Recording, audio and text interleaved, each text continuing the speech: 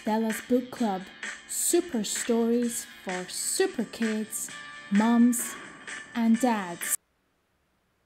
Spot Loves His Mummy by Eric Hill. It's a lovely sunny morning. Time for breakfast, Spot, Mummy says. Spot has fun helping Mummy with the shopping. Thanks for helping, Spot. Spot hurts his knee. Mummy helps make it better.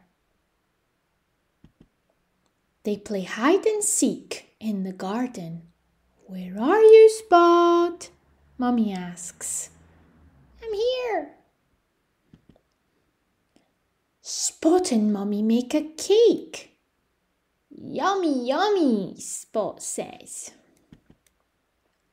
Mummy reads Spot a story.